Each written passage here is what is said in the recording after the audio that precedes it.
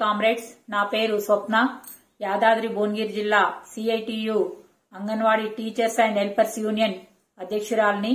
మన జిల్లాలోని నిర్వహించుకోబోతున్న రాష్ట్ర మహాసభలు నవంబర్ ఇరవై ఇరవై ఒకటవ తేదీలో మనం రాయగిరిలోని సోమరాధ ఏసీ ఫంక్షన్ హాల్లో ఈ సభలను నిర్వహించుకోవడం జరుగుతుంది. ఈ సభలను ప్రతి ఒక్క టీచరు జయప్రదం చేయాలి అందరూ.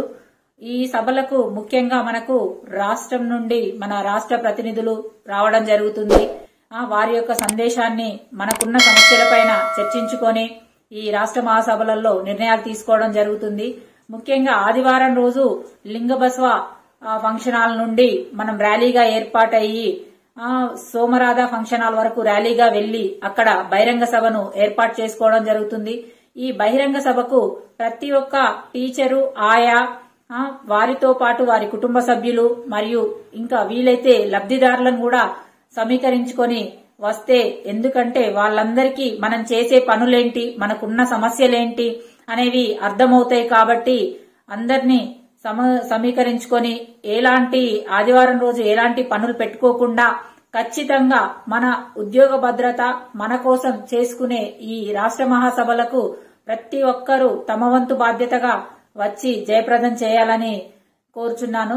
ఈ ముఖ్య ఉద్దేశం ఏంటంటే రాష్ట్ర మహాసభలది ప్రతి మూడు సంవత్సరాలకు ఒకసారి మన రాష్ట్ర మహాసభలు ఏర్పాటు చేసుకోవడం జరుగుతుంది. మూడు సంవత్సరాలకు ఒకసారి ఒక జిల్లాలో పెట్టడం జరుగుతుంది. ఈసారి మన జిల్లాలో మనం ఏర్పాటు చేసుకుంటున్నాము ఈ సభని. ఈ సభ ముఖ్య ఉద్దేశము మూడు సంవత్సరాల కార్యాచరణ. అంటే మనకున్న మనం గతంలో సాధించుకున్న ఏంటి? ఈ మనం ఇంకా మునుముందు మనకున్న సమస్యలేంటి? వాటిపైన చర్చించి ఎలాంటి పోరాటాలు చేస్తే మన హక్కులను సాధించుకుంటాము అనేది మనం నిర్ణయం తీసుకోవడం జరుగుతుంది. కాబట్టి ఇది చాలా ముఖ్యమైన మహాసభ.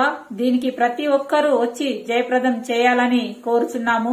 గతంలో మనం యూనియన్గా కలిసికట్టుగా ఉండి శాలరీలు పెంచుకోవడం గాని నూతన జాతీయ విద్యా విధానాన్ని వెనక్కి పంపడం చేయడం జరిగింది. ఇంకా ఎన్నో అనేక పోరాటాలతోని అనేకవి సాధించుకోవడం జరిగింది.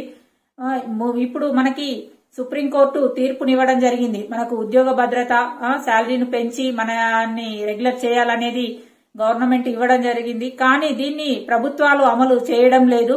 దీనిపైన మనం పెద్ద ఎత్తున సుప్రీంకోర్టు తీర్పైన పెద్ద ఎత్తున మనం ధర్నాలు చేసి మన హక్కులను సాధించుకోవడానికి అందరం కలిసికట్టుగా ముందుకు వెళ్ళాలని కోరడం జరుగుతుంది.